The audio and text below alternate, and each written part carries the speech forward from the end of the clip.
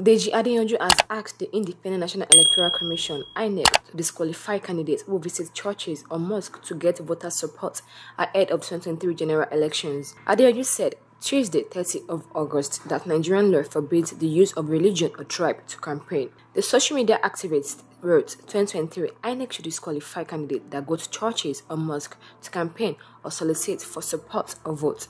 Our laws forbid the use of religion or tribe to campaign. Earlier, Adeyanju had advised the presidential candidates of the Labour Party, Peter Obi, to start building structures instead of going to churches like someone seeking to become the CAN president. On Tuesday morning, he mocked the deputy governorship candidate of the People's Democratic Party, PDP, in Lagos State, Funke Akindele, for being in a church service. Watching the video of Funke Akindele, PDP deputy governor candidate, campaigning or, sorry, worshiping in Lagos church is very hilarious. She almost went into a trance in the process. Politicians should keep their politics away from church, Adeyanju posted on Facebook.